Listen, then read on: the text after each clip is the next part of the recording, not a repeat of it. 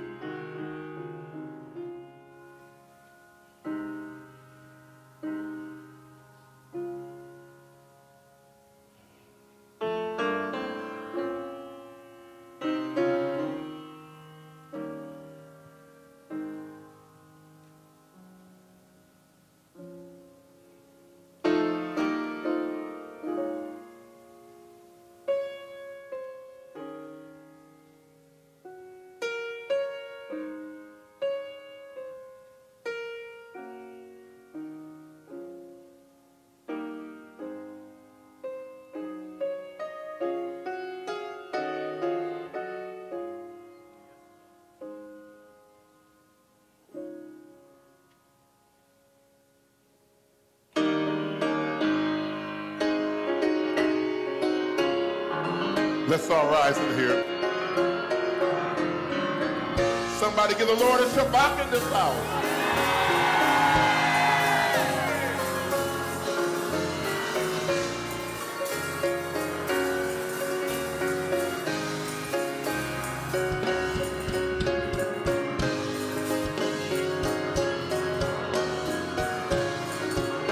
Let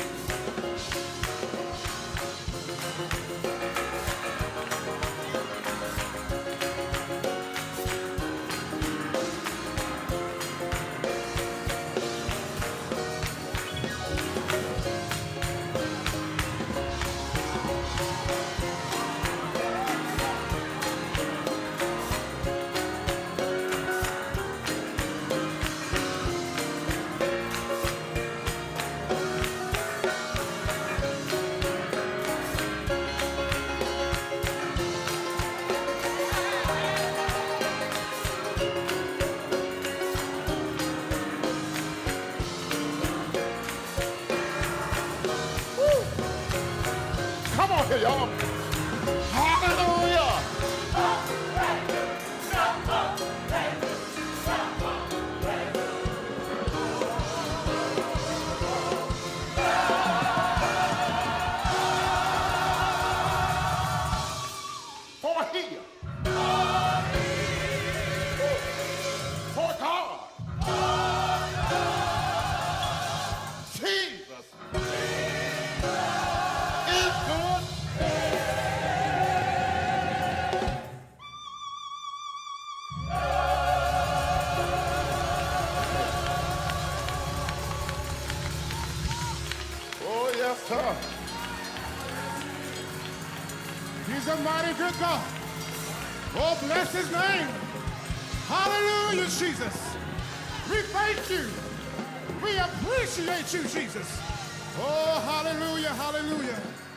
Bless the name, Jesus.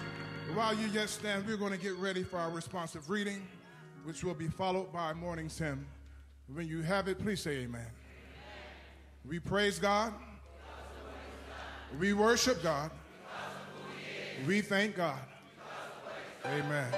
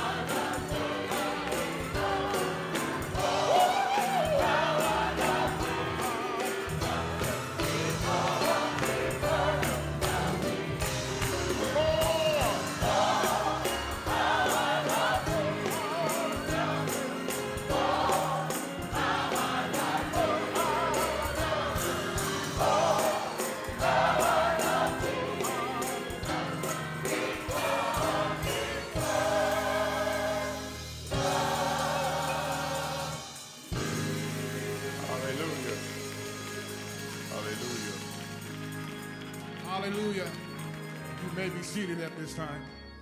We're going to get ready for our scripture readings this morning. God. Our Old Testament scriptures will be coming from First Elder Moss, followed by Elder Tanisha. Let's receive them by saying amen. Praise the Lord. Praise him.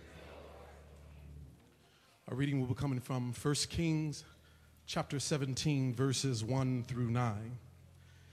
And Elijah the Tishbite, who was of the inhabitants of Gilead, said unto Ahab, As the Lord God of Israel liveth, before whom I stand, there shall not be dew nor rain these years, but according to my word. And the word of the Lord came unto him, saying, Get thee hence, and turn thee eastward, and hide thyself by the brook Cherith Cherith. that is before Jordan. And it shall be that thou shalt drink of the brook, Yes, and I have commanded the ravens to feed thee there. So he went and did according unto the word of the Lord. For he went and dwelt by the brook Cherith that is before Jordan. And the ravens brought him bread and flesh in the morning, and bread and flesh in the evening, and he drank of the brook. And it came to pass after a while that the brook dried up, because there had been no rain in the land.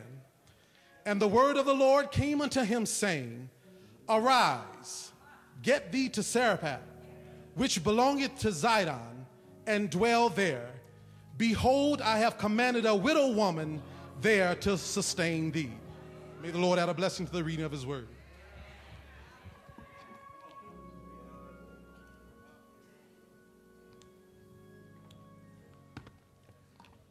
Bless the Lord, everybody. Bless him. I'll be reading 1 Kings 17, verses 10 through 16, and it reads So he arose and went to Zarephath. And when he came the gate of the city, behold, a widow was there gathering sticks. And he called to her and said, Please get me a little water in a jar that I may drink. As she was going to get it, he called to her and said, Please bring me a piece of bread in your hand. But she said, As the Lord your God lives, I have no bread. Only a handful of flour in the bowl and a little oil in the jar. And behold, I'm gathering a few sticks that I may go in and prepare for me and my son, that we may eat it and die. Then Elijah said to her, Do not fear. Go, do as you have said, but make me a little bread cake from it first, and bring it out to me. And afterward, you may make one for yourself and one for your son. For thus says the Lord God of Israel the bowl of flour shall not be exhausted, nor shall the jar of oil be empty, until the day that the Lord sends rain on the face of the earth. So she went and did according to the word of Elijah, and she and her household ate for many days. The bowl of flour was not exhausted, nor did the jar of oil become empty, according to the word of the Lord which he spoke through Elijah. Put your hands together and give God some shown up praise.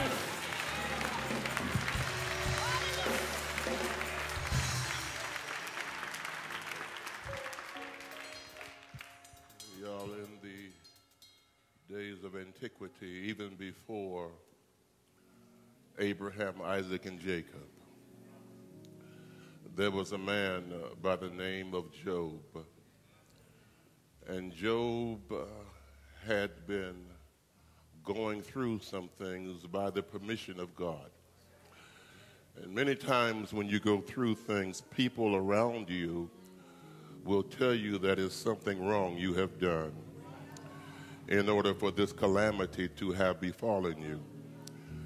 But after Job thought about it a little while, Job sat down and he told his so called three best friends, he said, My witness is in heaven, and my record is on high. So say whatever you want to say about me. Talk about me. You don't know my story like I know my story. And you don't know my testimony like I know my hey, my testimony. But he said, My witness and I, and I need you to tell two or three people, my witness is in heaven. And my record is on high.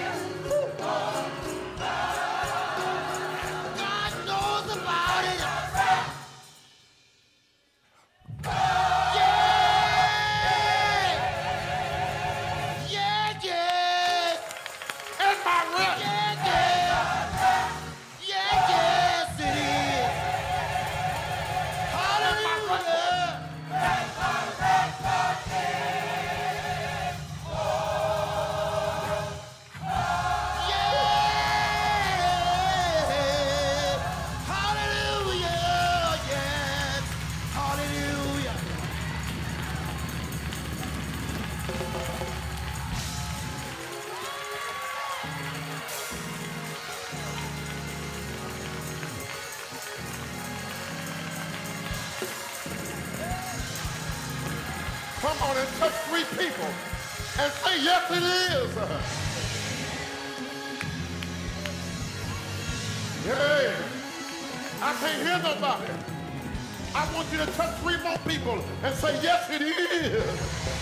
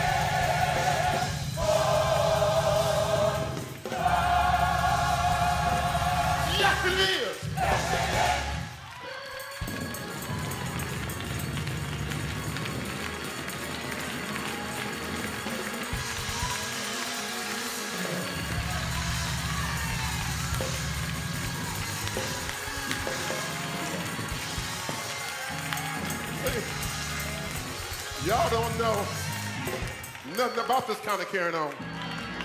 But if you go back about 40 years with me, the New York Community Choir, and Arthur Bingham would say it like this, and my record. And my record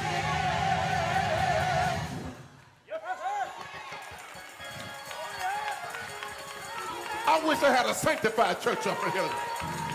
And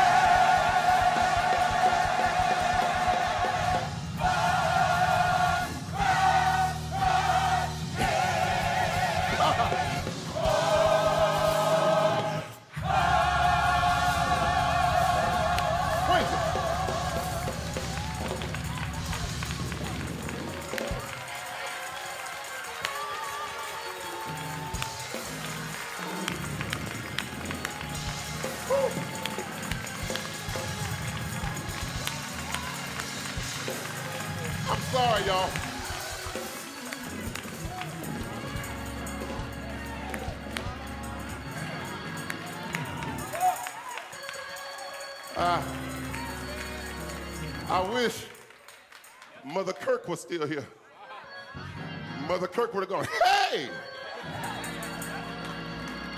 Can I find about a hundred of y'all just to go, hey!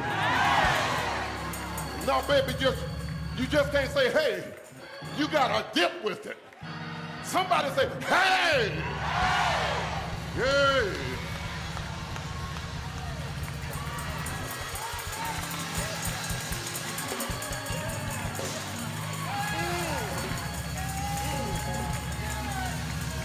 I don't care if it kills me. I'm going to have a sanctified church. I'm going to have a holiness church. Touch your neighbor say, holiness or hell.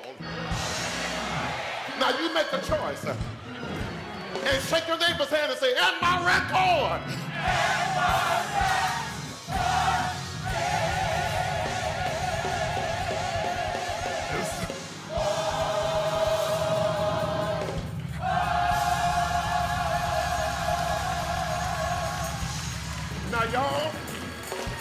I'm not going to leave this alone until somebody gets it. Somebody just wave your hand and say, go head on.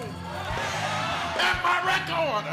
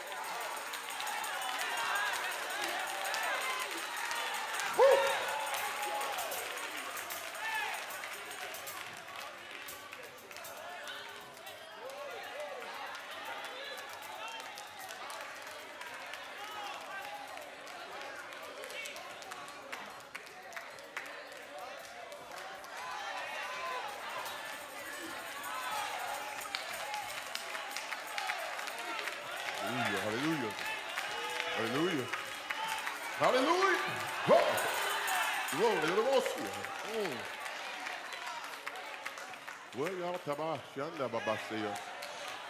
Oh God. And my record. Ah! Oh. I'm sorry, y'all. Just one more time. Tell two more people. My record is on high. And say, neighbor, and I'm covered in the blood of Jesus.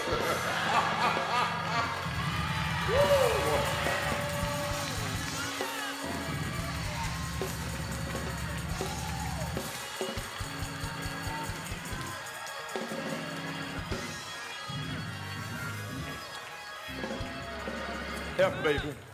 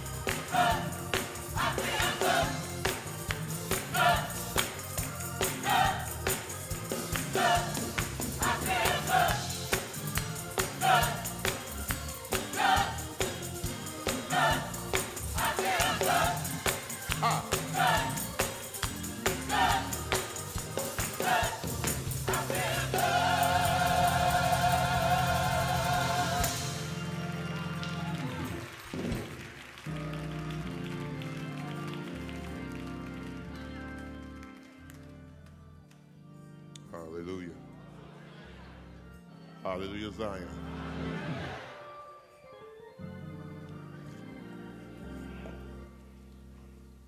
If I can get somebody to make this confession with me, just lay your hand on yourself and say, in spite of it all, guess what, self? I feel good. Ah.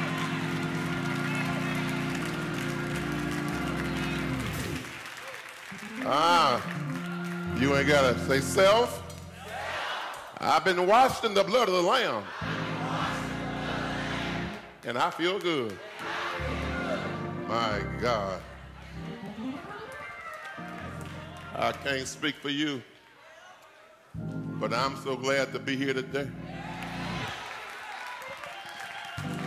And if anybody can say it like I can, grab your neighbor and say, it didn't have to be so but God. And when I think of the goodness of Jesus and all he's done for me, my soul shouts hallelujah.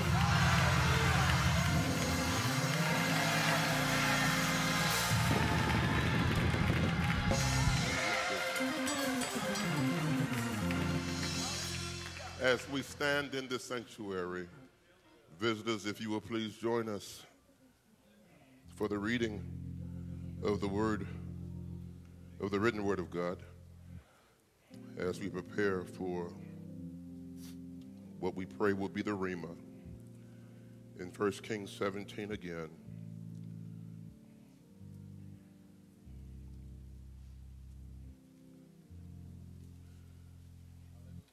Verse 2 The word of the Lord came to Elijah, saying, Go away from here and turn eastward, and hide yourself by the brook Cherith, which is east of the Jordan. And it shall be that you shall drink of the brook, and I have commanded the crows to provide for you. And he went and did according to the word of the Lord. Hmm. Verse 7 It happened after a while that the brook dried up because there was no rain in the land.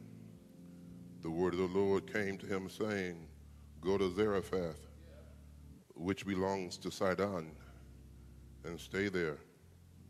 I have commanded already a widow there to provide for you. So he arose and went to Zarephath, and when he came to the gate of the city, behold, a widow was there gathering sticks. And he called to her and said, Please get me a little water in a jar that I may drink. As she was going to get it, he said again, Bring me some bread in your hand. But she said, As the Lord your God lives, I have no bread only a handful of flour in the bowl and a little oil in the jar. And behold, I am gathering a few sticks that I may go in and prepare it for me and my son, that we may eat it and die. Touch somebody and say, But God had other plans. And in verse 13, Elijah said to her, Do not fear. Do what I told you to do, but make me some first. Bring it out to me and afterwards you may make one for yourself and for your son. For thus says the Lord God of Israel The bowl of flour shall not be exhausted, nor shall the jar of oil be empty, until the day that the Lord sends rain on the face of the earth. May the Lord add a blessing and a favor to the reading, the believing, and the receiving of his word. I'm pray I'm asking that when you get home, you will read the entire chapter. Touch your neighbor and say to them, Thank God for the oil.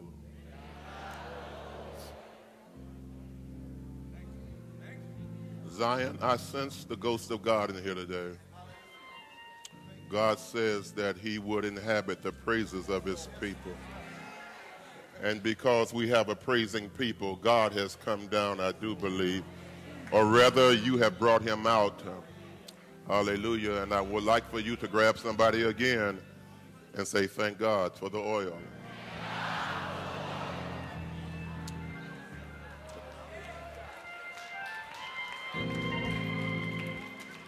You know, I got to do this before we go into the word. Touch somebody and say, you know, you're healed today because of the oil. Hallelujah.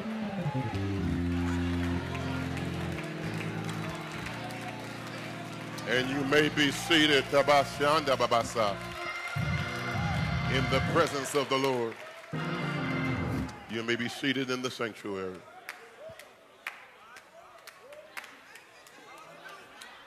And let's see.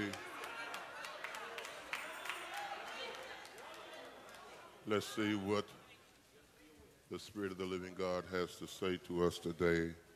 Father, I personally magnify you. Use this vessel of clay to your glory.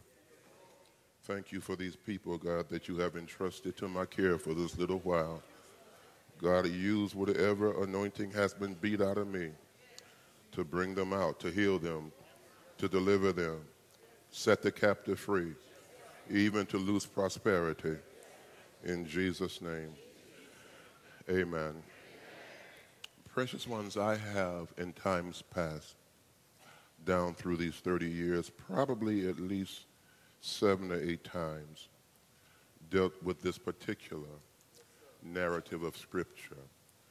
But since we have been dealing with the anointing and the oil and how it is produced, I felt led in my spirit last week to come to this, but it was shifted, and today, if God gives us utterance, we come back to it. Um,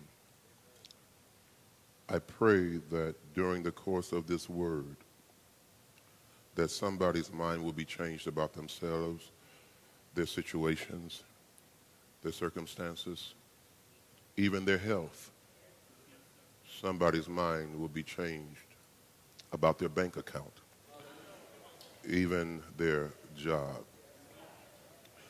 And how important obedience is. Thank God for the oil. Thank God for revelation. As many of you realize, before I go into where I want to go today, many of you know that I burn incense on prayer. I burn it out here. In my office, I burn it continually. And I walked in my office on Monday morning, and there was no incense. I've already shared this with a few people, and I went and sat at my desk. And when I sat in my desk, I saw in my mind's eye, or now I can say the eye of revelation, I saw some incense under the table in the closet uh, next to the refrigerator in my office. And I got up and I went over there in obedience. I really, I was so sure about it. I was so sure about it. It's, very, it's rare that this happens to me like this. And I looked under the table and I got angry because it was nothing but empty water bottles and dust. And those of you that know me know I don't like a dirty place. Uh, every year I throw stuff out. Even in my house, I fill up a whole dumpster. If I haven't used it in a year, I'm not going to use it, so it got to go. People come to my house and go through the dumpster to get the stuff out. And so I got the broom and I swept it out underneath there and I said, Well, Lord, I guess I missed that. But then I got back down to get some more dust, and I saw a piece of plastic. And when I pulled the plastic, it was a huge stick of incense in the plastic. Evidently, it had fallen back there. I don't know. All I know is that I now know it was the Spirit of God that told me what I was looking for was under the table. But before I could go after it, I had to see it. And what I am saying to you, there's God has empowered you in such a way until through your obedience you have creative powers. Let's say maybe it wasn't there before I saw it. I don't know. Chances are it fell down. The point being, it was there. And I do believe it was the Spirit of God that led me to look under there. But today, we're talking about a woman who had some things and did not know what she had. Did she have eyes of revelation? I think not. Was she saved? No. Was she a heathen? Yes. And when I say a heathen, I'm not saying someone who does bad things. When it comes to Christianity and this great faith, uh, anyone, according to the old church fathers, who do not belong or believe in the Lord Jesus Christ was considered a heathen. At one point in my life, I was a heathen. Yes, At one point in your life, many of you were heathens. Yes, All of you were heathens.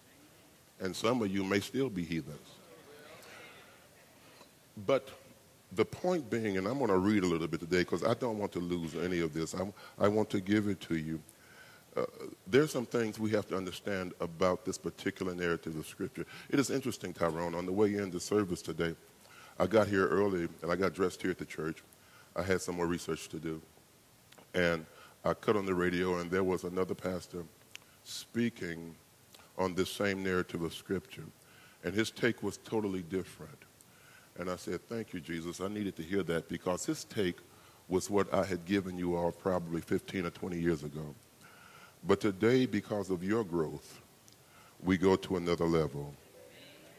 I believe the first thing we must understand about this woman, we have to understand this, and her obedience to the man of God is simply this. and, and hear me please, God had already prepared her to receive the man of God. Many people in church settings or local assemblies have not been prepared to receive a word from the man of God. And those of you who are believers, and I need you to stay here with me for a moment, those of you who are believers, it is imperative, I have told you this many times, do not wait until you get to service to prepare yourself. You need to be preparing yourself on Monday, Tuesday, Wednesday, Thursday, Friday, Saturday. How do you prepare yourself? Baby, worship Him. Seek His face. Amen, somebody. We seek so many things. We seek promotions on our jobs. We seek other people. We seek more money. When the scripture says, seek first the kingdom, the kingdom of God, and all these other things shall be added to you. And as you seek the kingdom, even the challenges and the bad things that happen in your life will seem better. I know people who've been in holiness or in churches all of their lives, but it seems the slightest thing will throw them off. It will make their whole countenance change. It's because though they've been in church, the church hasn't quite worked its way into them. You see, we got to understand, precious ones, that God is on our side. And, and, and don't misunderstand favor. I hear so many preachers and so many bishops talking about the blessings of God, and I've told you before, with blessing comes uh, possibility, it comes opportunity. With, with blessings come challenges. You see, you are given tasks with blessings, and then God will favor you with what you need to fulfill his purpose on your life. You see, I've been blessed or called to be a pastor. And God enables me to do that by favoring me, hallelujah, with the oil.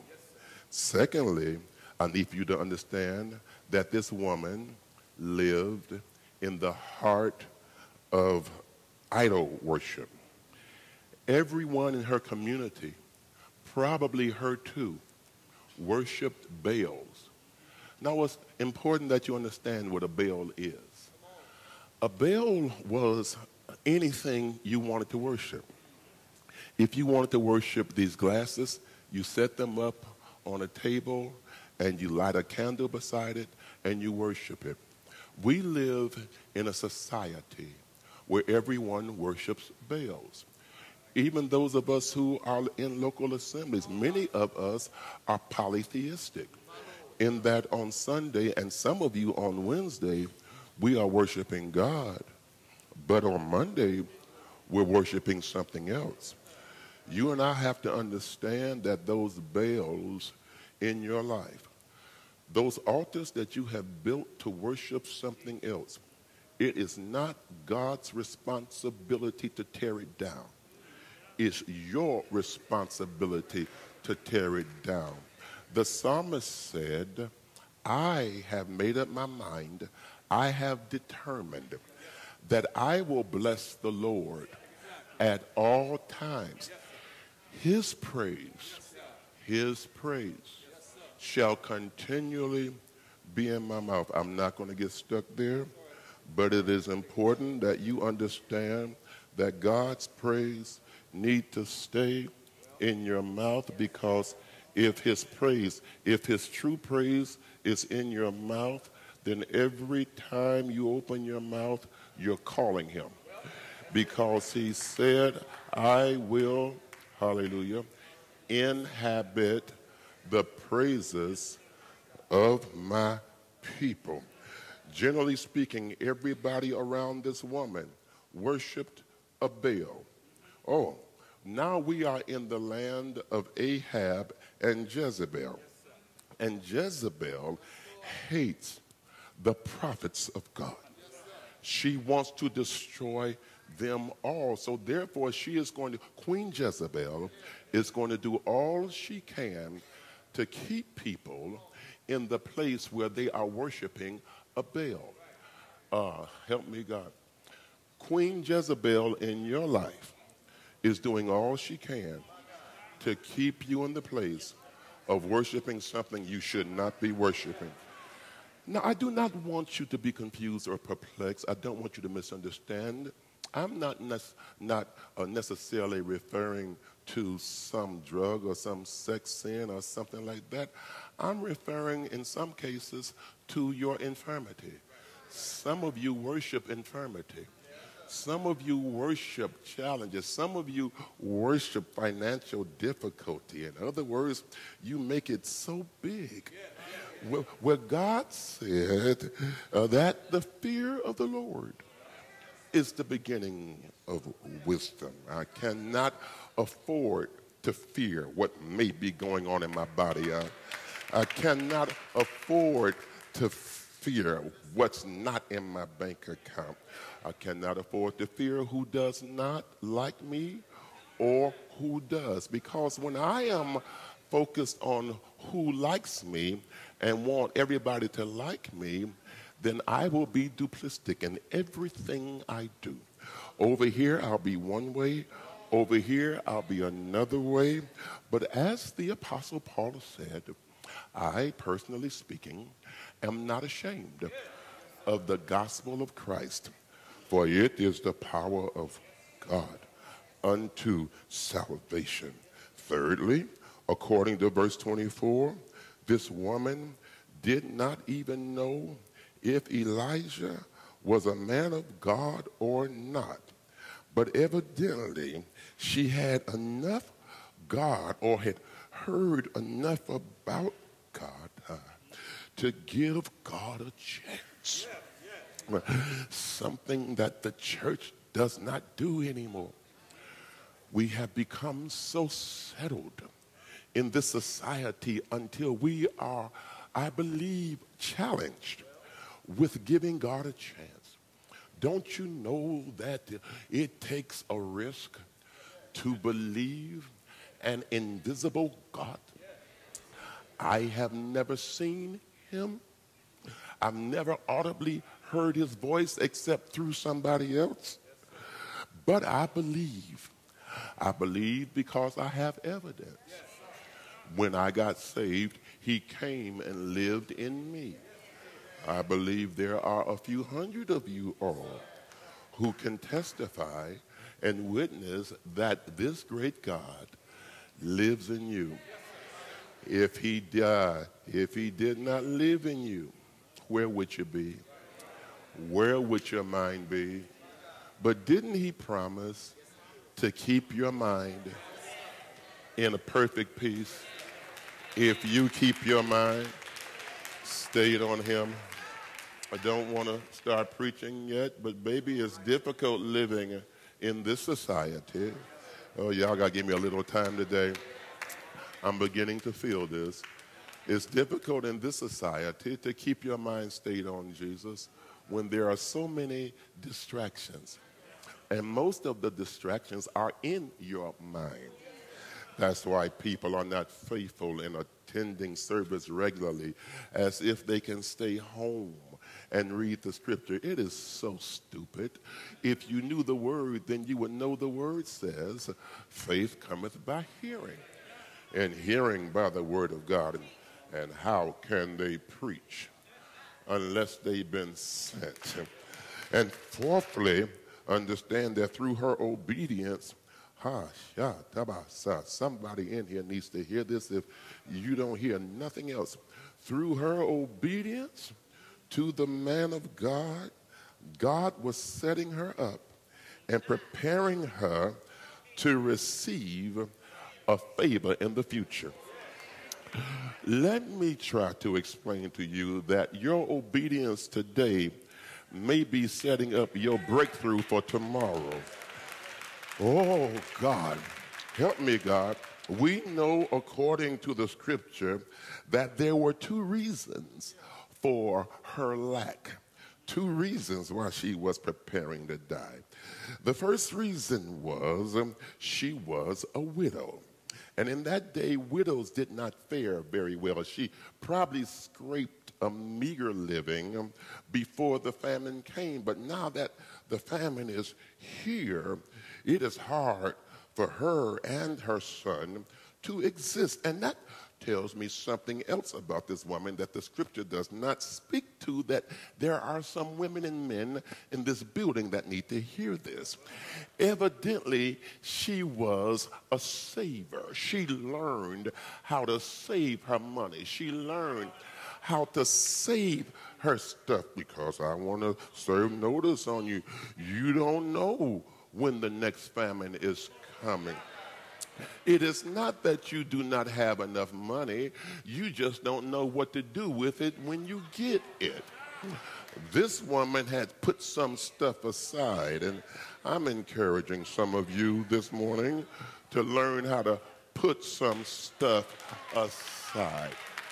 When you get that unexpected check, don't spend it. You were not expecting it anyway. Put it aside. When you get that raise on your job, don't go buy a Cadillac. Don't go buy a Mercedes. Baby, a Yugo, uh, a Kia will get you where you need to go. Just make sure you get a good warranty and try to get four-wheel drive if you can. And quite frankly, it don't have to be brand new. As long as you got learn how to put something aside. You don't always need a new dress. You got 60 of them. You don't, oh, look how y'all looking at me. You got so many shoes, you ain't got room to put them. Oh, you better go through your closet and find some of that stuff and put it aside because you don't know when the famine is coming. Uh, you see, one of the life lessons, though y'all don't like me this morning, one of the life lessons here is that in time of famine, just a little bit will see you through until your breakthrough comes if you have the right little bit. Oh, hallelujah. And I believe the breakthrough came through obedience to the word of God. You, you cannot make up your own rules. Don't you know that the sun shines on the just and the unjust? I don't get it. Why do we always get upset about everything that happens, no matter what happens, we are ready to throw in the towel. We are ready to give up. Oh, poor me, pitiful me. You big dummy, you need to go to the Cleveland Clinic and walk up and down the corridors and see those people that can't do nothing for you need to go over there off of West 25th Street and look down in the projects and see those people that gotta stand for hours in the food line. And every time you look at something like that, you need to turn around and say, Thank you, Jesus. Because if it had not been for the grace of God, and if it had not been for the Lord that was on my side, you need to stop complaining and start praising him. You are not that important.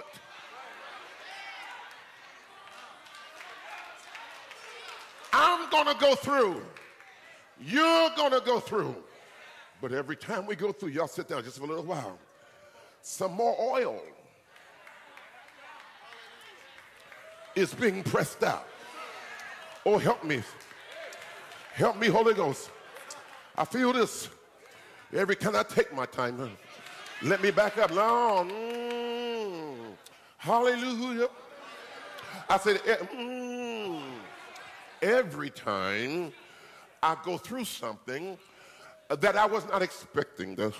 That's why James said, Count it as joy, my brethren when you encounter various trials. Ah, I don't know, I don't understand why my ministry is not succeeding. I, I think I'm doing what God told me to do. I don't, I don't understand why it doesn't seem like I can get the money for college. I, I know I'm supposed to go. I have come to tell you that you have what you need, but you got to turn it over to obedience.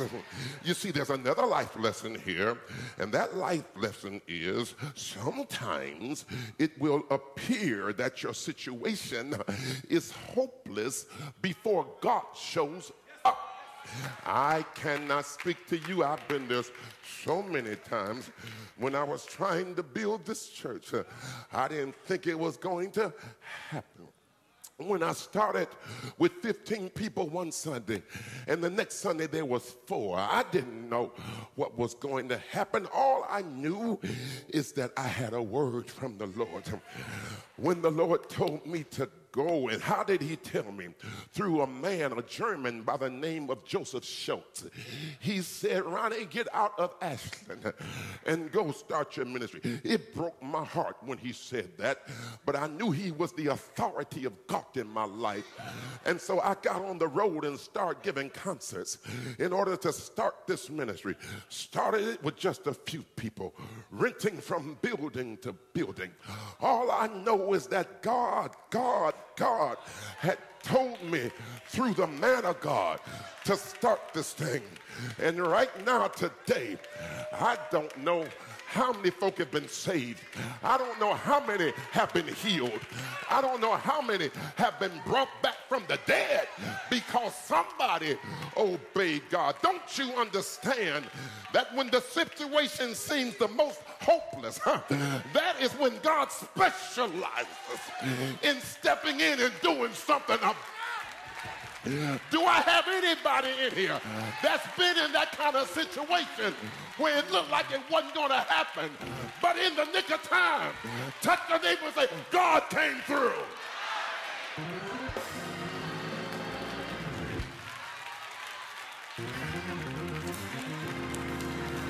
I can't find nobody, I'm, but I got to back up a little bit. I want you to grab three more people and say, in the nick of time. I mean, this is if you can. This is only if huh, you know what I'm talking about. Grab three people and say, in the nick of time, God came through. Oh, hey, say neighbor, I'm not praising him because everything's all right in my life. I'm praising him because I expect it to be. Say neighbor, I can't wait till the battle is over. I gotta give it up now.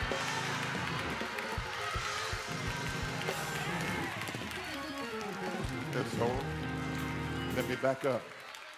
I'm backing up. I'm backing up. I got ahead of myself again. Hallelujah. Dr. Butler, praise him just because you know it's going to happen. I said, just because you know.